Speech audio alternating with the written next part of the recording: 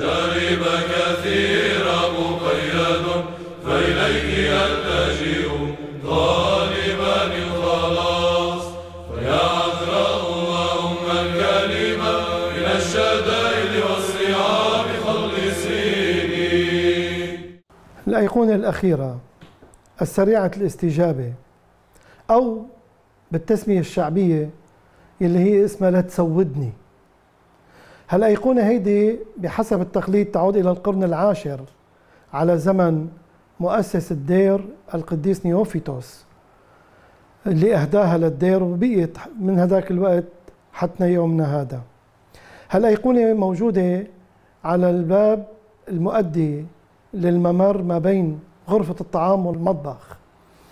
بالقرن السابع عشر الميلادي الراهب المسؤول عن المائدة اللي كان يضطر يمر آه، دائما من هذا الممر آه، وغالبا بالليالي كان مضطر يشعل الموقد فكان يحمل بإيده شعلة من النار ويمر دائما من أمام هذه الأيقونة عدة مرات. مرة من المرات بيسمع صوت هالراهب كان اسمه نيلوس.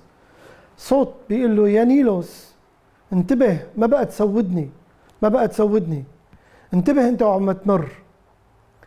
أول شيء خاف بعدين إنه شو هذا الصوت؟ افتكر حدا من رفقاته الرهبان عم يحكي معه بطريقة معينة فما أخذوا ما عطى تكررت الحادثة عدة مرات وكل مرة كان يقول حدا عم يعمل فيني آه، فصل معين. إلى أن مرة من المرات بيظهر الصوت واضح. إنه يا نيلوس أنت غير مستحق يكون اسمك راهب. أنت ما عم تسمع. صار لي قديش بقول لك أنا انتبه ما بقى تسودني. بهالمشعل اللي عم تحمله. فلهيك بدي أعطيك علامة إنك أنت آه، تكون حذر كل حياتك.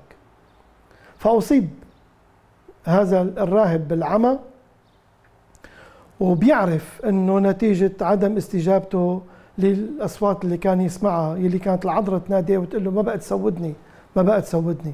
بيعتبر نفسه إنه هو مستأهل لهالعقوبة هيدي لإهماله لتقصيره ثاني يوم الصبح بيجوا الرهبان بيشوفوه أمام الأيقونة عم يبكي وهو فاقد النظر وبيحكي لهم القصة.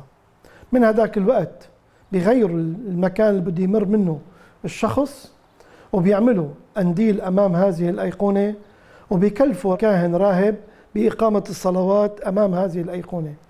وهالراهب نيلوس بيواظب على الصلوات بتوبة وبدموع.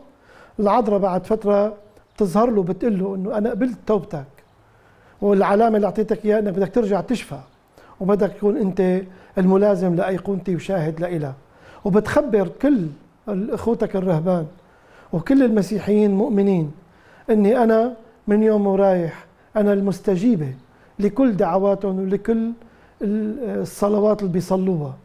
وأنا من اليوم ورايح بصير اسمي سريعة الاستجابة.